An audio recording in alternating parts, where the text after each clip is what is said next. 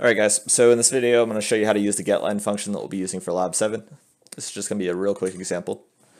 So I've set this main up here to take in command line arguments. So what I'm going to do is assume that the user is going to enter dot slash a dot out and that the first argument is going to be the name of a file with a .txt extension.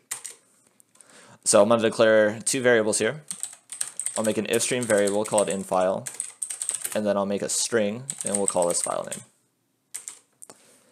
So since we know that the file name is going to be at argv1, what I can do is I can say file name is equal to argv1.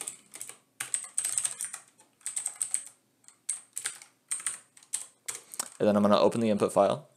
So I'll say infile.open, and we'll pass it the file name. Next, I want to make sure that the input file actually opens. So I'll say if input file or in file isn't open, we'll output an error message.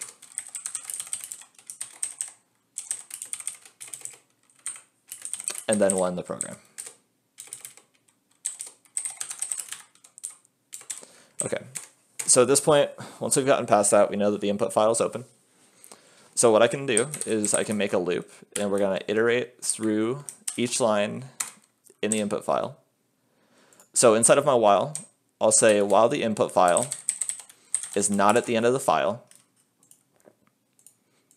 And then I want to get a line from the input file and put it into some string. So I'll declare a new string here, and I'll just call it line.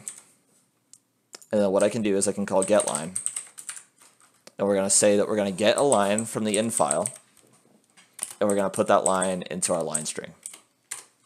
And what I'll do is just I'll output each line afterwards.